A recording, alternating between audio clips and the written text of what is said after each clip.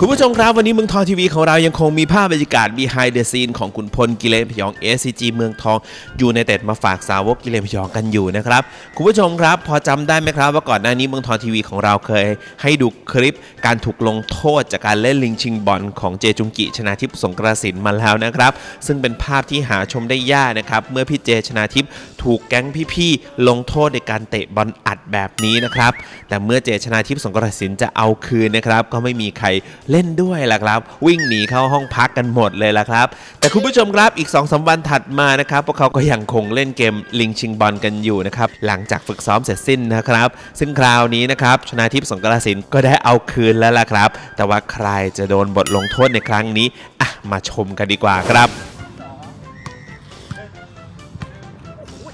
สองสองหนึ่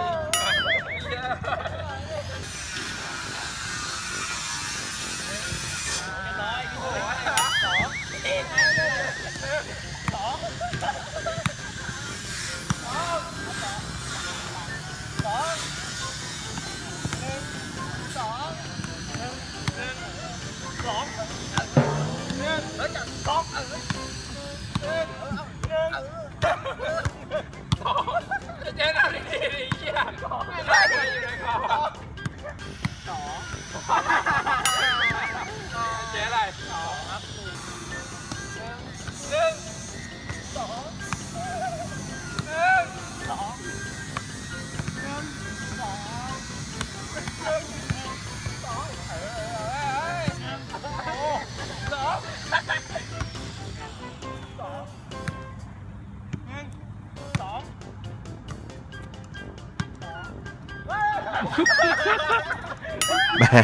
ก็เป็นภาพที่หาดูได้ยากนะครับ เมื่อพี่มุ้ยเธอสินแดงดานะครับ ถูกน้องๆลงโทษนะครับ จะเตะแม่นกันสักขนาดไหนอะเดี๋ยวมาดูกันครับ